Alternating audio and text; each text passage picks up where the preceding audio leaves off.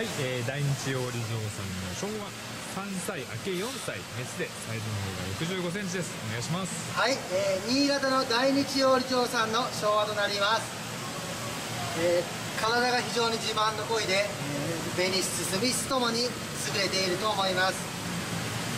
この鯉は昨年新潟の野池の方で取れた鯉です。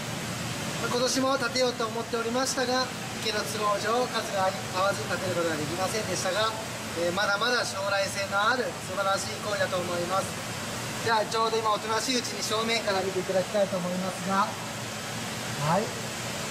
まず顔の紅の厚みそして体の模様この鯉の一番の魅力がこの腰回りの尾筒の太さですね。指3本4本あるような感じの、えー、尾筒をしております。もっと大体このサイズぐらいですと細いこのシュッとなっておりますがこの貝に関してはお筒の太みが非常にあります。お筒が太いということで、えー、泳ぎも立派なあのー、ずしずしとしたこういう泳ぎ方をしますね。非常に筋肉質な鯉です。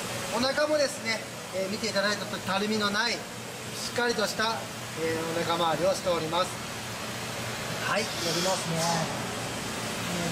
昨年池から上がった時はまだ墨が出てませんでしたが顔の口の鼻の辺りに墨が出てきました、重要な場所にもですねこちら側に墨で始めてきましたね。エラにもあります。こちらも出ておりますね。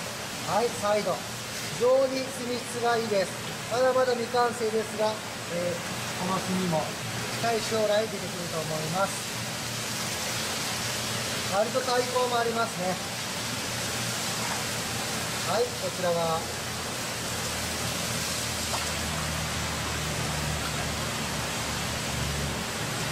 いお腹です。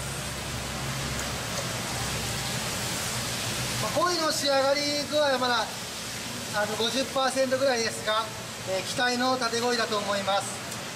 まだ今4歳5歳6歳と、えー、どんどんどんどん大きくしていただいて飼っていただきたい1匹です。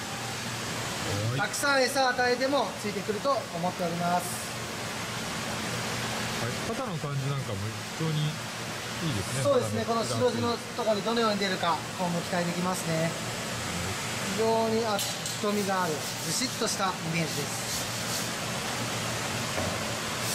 それではしたいと思います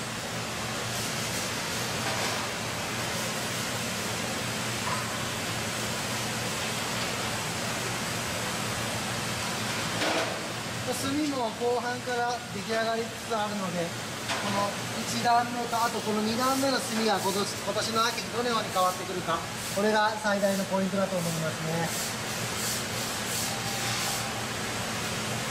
はい、いかがでしょうか？こちら大日お地蔵さんの昭和3歳、えー、明け4歳になります。メスでサイズが6 5センチ。ぜひよろしくお願いします。